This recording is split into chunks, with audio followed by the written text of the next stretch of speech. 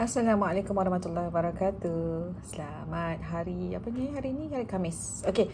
So um, hari ni saya nak highlight sikit um, um, apa kepentingan problem statement. Okay, apa kepentingan problem statement? Okay. Sebelum tu saya nak uh, remind bahawa uh, kenapa kenapa pentingnya problem statement? Kenapa garapan problem statement yang yang berstruktur uh, yang berstruktur dan strong eh, yang kuat penting okey? Uh, terlebih dahulu saya nak remind lah uh, kenapa kita menekankan empat problem itu okey? Sebab problem ni adalah core adalah central research kita problem eh? Sebab apa?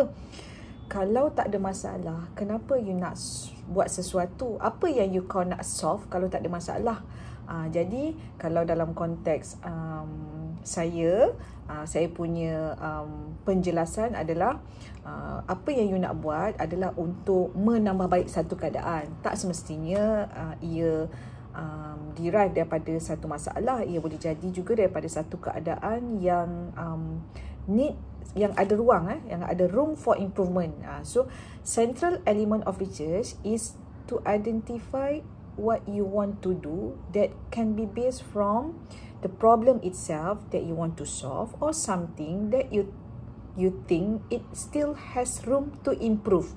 Ah uh, so daripada situ you kena kenal pasti barulah you boleh uh, barulah you boleh cakap okay aku nak buat ni sebab aku nak offer ni ni solution aku uh, so perkara tersebut perlu dinyatakan dengan jelas perlu di stated jadi perkara-perkara itulah yang kita akan uh, strukturkan yang kita akan garapkan yang kita akan hujahkan yang dibitkan di dalam problem statement kita. Nama pun problem statement pernyataan masalah. Makanya ia penyataan eh bila pernyataan statement ni dia ha okey panjang berjela-jela ke pendek sangat ke. Ha, okey kalau nak tahu lebih lanjut jom join.